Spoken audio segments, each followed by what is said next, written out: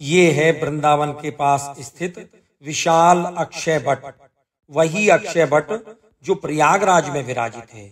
अब ये प्रश्न उठता है कि प्रयागराज का वह प्रसिद्ध अक्षय बट यहाँ वृंदावन के पास कैसे है? तो आपको बता दें कि भगवान श्री कृष्ण से वृद्ध नंद बाबा, यशोदा मैया तथा ब्रजवासियों ने समस्त तीर्थों का दर्शन, तीर्थाटन आदि करने की इच्छा प्रकट की। तो भगवान ने धरती के समस्त तीर्थों को इस ब्रज चौरासी कोष में आह्वान करके प्रकट किया है। इसी क्रम में प्रयागराज के पुण्यकारी अक्षय भट्ट को यहाँ श्री यमुना जी के तट पर काजरोट गाँव में प्रकट किया गया है, जो इतना प्राचीन, अलौकिक व विशाल है कि इसकी विशाल जटाएँ डालियों से नीचे लटक कर पुनः धरती में समाहित हो गई हैं। अर्थात जटाएँ बढ़ती बढ़ती पुनः भूमि में गढ़कर एक ओर इस अक्षय बट की प्राचीनता को इंगित करती हैं तो दूसरी ओर अक्षय बट के अक्षय, अर्थात जिसका कभी क्षय या नाश नहीं हो, उसको भी प्रतिपादित कर रही हैं।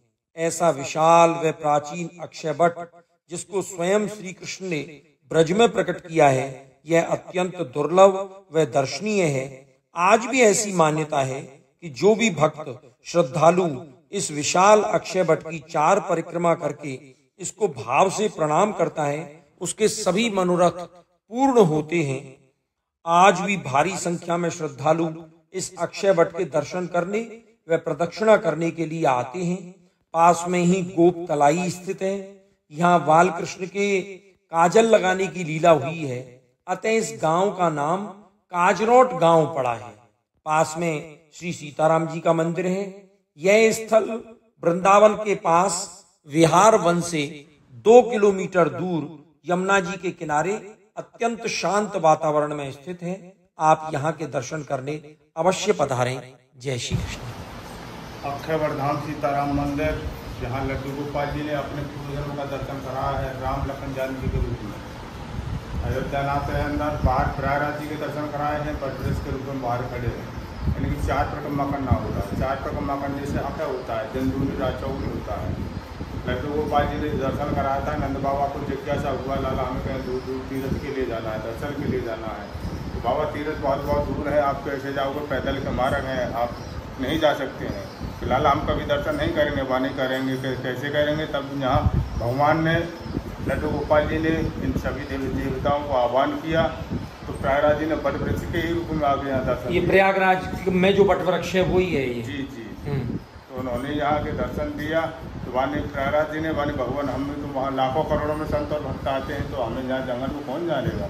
तो आप ब्रह चौरासी को उसका राजा हो गए और अक्षय वट के नाम से जाने जाओगे। वाह। जो तुम्हारी चार परिक्रमा करेगा उसका अक्षय होगा। कभी खत्म ना हो कभी क्षय ना हो कभी नाश ना हो। वाह। इसलिए इनका नाम अक्षय वर्धाम सीताराम मंदिर है। ये ये त्रेतायुग की लीला ठाकुर जी ने दिखाई है लड्डू गोपाल जी ने। राम लक्ष्मण जानकी इनके दर्शन कराए हैं और त्रेता युग की लीला को यहाँ दर्शन कराया हुआ है लड्डू गोपाल जी ये काजरोट गाँव है और यहाँ ये सीताराम जी का मंदिर है और ये बाहर अक्षय बटे और कोई सरोवर भी है? हाँ ये सरोवर है गुप्त तलाई के नाम से जाना जाता है। गुप्त तलाई हाँ, पीछे है बराबर में है। हाँ। ये गुप्त तलाई के भी दर्शन है तो ये बटवृक्ष महाराज हैं और अंदर अयोध्यानाथ और तपोवन कहाँ पे बाबा तपोवन यहाँ से आप पीछे बैक होगे कच्चा रास्ता जाता है सामने। हाँ। ये पाँच सौ मीटर है दूर नहीं तो ऐसे आप भाग जाओगे फिर तपोवन है। फिर वहाँ से वापस होगे चीज़ घाट के लिए